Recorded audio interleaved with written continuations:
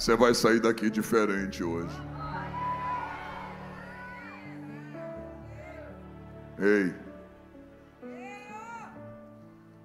Quando Natanael começou a falar, quando Jesus começou a falar com Natanael, a concepção de Natanael concernente a Jesus mudou. E quando ele viu que Jesus disse: Eu te vi debaixo da figueira, Jesus revelou para ele só o que ele e seus pais sabiam, e mais ninguém. Ele disse: Veja que tu és verdadeiramente o Filho de Deus. Jesus disse: Só porque eu disse que te vi debaixo da figueira, tu creu? Coisas maiores ainda tu verás. Ei, eu quero profetizar que você não viveu nada ainda do que Deus vai revelar a você você ainda vai ver mais.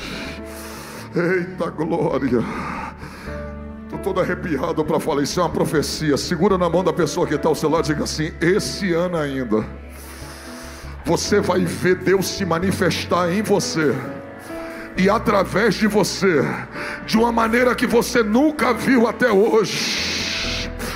Quem está sentindo Ele hoje aqui?